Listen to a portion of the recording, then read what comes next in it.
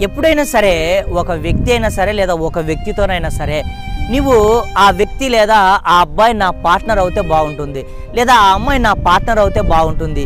ఈ అబ్బాయితో లేదా ఈ అమ్మాయితో నా వ్యక్తి నా వ్యక్తిగత జీవితం ముందు కొనసాగితే బాగుంటుందని నీకు అనిపించినప్పుడు అటువంటి సందర్భాలలో ఆ అబ్బాయి అయినా సరే ఆ అమ్మాయి అయినా సరే నీ కేటగిరీకి సంబంధించిన వ్యక్తి కాదు అని నీకు తెలిసినప్పుడు నీ అభిప్రాయాలను మ్యాచ్ చేసే వ్యక్తి కాదు అని తెలిసినప్పుడు నీ అభిప్రాయాలను మ్యాచ్ చేసే వ్యక్తి కాదు అని తెలిసినప్పుడు నీ మనోభావాలను మ్యాచ్ చేసే వ్యక్తి కాదు అని తెలిసినప్పుడు మీ ఇంటి వారి అభిప్రాయాలను మీ ఇంటి వారికి సంబంధించిన రుచులు ఏదైతే ఉన్నదో కేటగిరీలు ఏమైతే ఉన్నాయో ఇవి మ్యాచ్ కావు అని తెలిసినప్పటికీ కూడా మీరు ఒకవేళ ముందు అడుగు వేసి వెనక్కి వెళ్ళినా భవిష్యత్తులో మీ కుటుంబం వారు ఒప్పుకోరు మీ కుటుంబం వారు ఒప్పుకోరు. మీ జతకు వారు ఒప్పుకోరని తెలిసి కూడా పొరపాటున కూడా ఆ వ్యక్తితోటి మనో అడుగు ముందు వేయొద్దు. ఎందుకంటే ఆ తర్వాత మీరు విడిపోయిన తర్వాత జత కలిగి విడిపోయిన తర్వాత ఎంతగానో బాధపడి ఉంటుంది. కాత్రేవే కాకుండా మీరు ఎంతగానో తప్పిదము చేసిన వారు అవుతారు పొరపాటు కూడా చేసిన వారం అవుతారు. ఎందుకంటే